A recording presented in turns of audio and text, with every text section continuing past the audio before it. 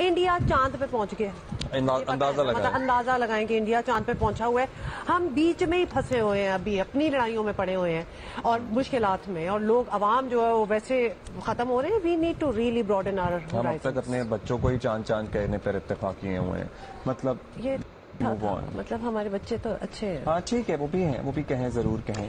अच्छा talking of India being on चाँद हाँ हाँ भारत पहुँच गए भाई चाँद पर। भारतीय खलाई मिशन चंद्रयान थ्री। पाकिस्तानी वक्त के मुताबिक गुजशत शाम पाँच बजकर पैंतालीस मिनट पर चाँद की सतह से टकराया। तारीखी लम्हा आते ही भारतीय स्पेस सेंटर्स में आपको पता ही है क्या विजुअल था? मतलब ये रहो हम हम मतलब एक जैसी ज़ुबान बोलते हैं हमारा रंग भी एक जैसा है हमारे बालों का कलर भी एक जैसा है लेकिन फिर भी फ़र्क। बहुत बहुत फ़र्क but anyway from a regional perspective अगर देखा जाए तो कमेंडेबल बहुत खुशी हुई।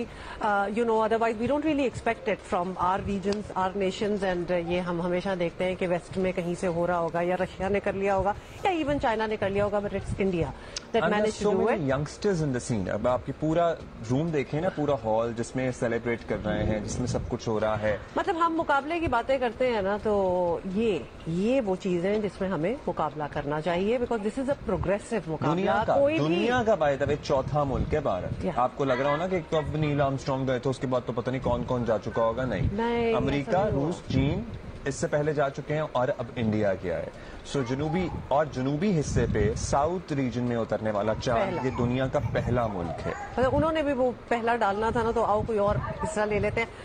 But good on them absolutely wonderful ये बड़ी कमाल की चीज़ है। तो ये वो एवेन्यूज हैं जहाँ हम मुकाबला कर सकते हैं अगर हम अपनी किचकिच से थोड़ा सा बाहर आ जाएँ